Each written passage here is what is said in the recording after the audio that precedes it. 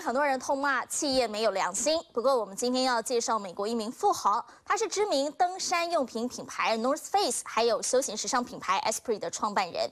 但是他在从商致富之后，却出售公司，投身在环境保育。他在智利跟阿根廷的巴塔哥尼亚高原，先后购买捐赠了两百万英亩的土地，设立国家公园。而且就在他跟太太的协助之下，部分曾经过度放牧的地区，又恢复了以往的生机勃勃。小飞机搭载着记者飞上青天，从空中鸟瞰着巴塔哥尼亚高原。Those kind of opportunities just aren't everywhere in the world. It's huge.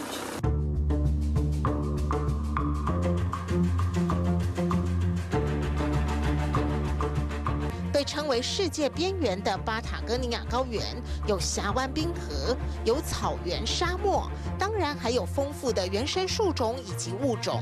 达尔文曾在19世纪中到这儿寻找欧洲绝迹的稀有物种，但是一百多年之后，巴塔哥尼亚高原上许许多多的物种数量也逐年锐减，甚至濒临绝迹。其中的原因就是过度的放牧。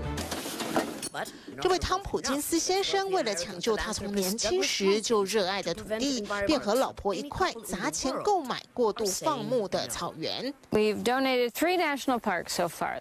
汤普金斯夫妇买了地，不是新建度假村，而是将地捐给智利政府，纳入国家公园内。这对夫妻年轻时都很会赚钱，老公创办了登山用品品牌 North Face 与休闲时尚品牌 Esprit，老婆则是另一家知名户外用品品牌 Patagonia 的前任执行长。只是钱赚够了，一个卖掉公司，一个辞职，双双投入环境保育的行列。You come here. and you think, God, this is like a paradise because they're back where they belong. They know that they're not hunted, and that's why you can stand here so close to them, mm-hmm. and they don't, don't run away. They don't care.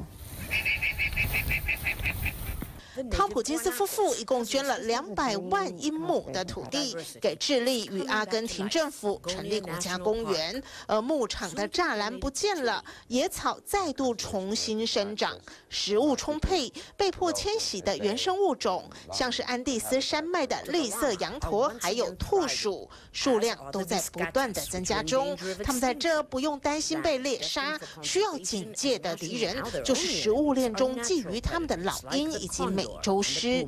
而汤普金斯夫妇早就把智利当成第二个家，只是并非所有当地人都认同他们的做法。毕竟放牧是高原传统的经济模式。Creating a national park is almost always accompanied by controversy, and this is no exception. In fact, the Tompkins are the first to admit that shifting land use from overexploitation to conservation inevitably sparks passions and opposition.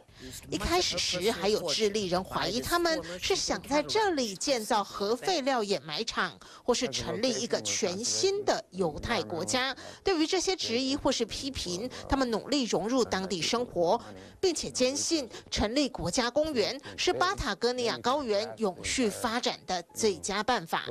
Are we willing to use up every square inch of this planet at the risk of losing most species just to make sure that we humans consume as much as we want to.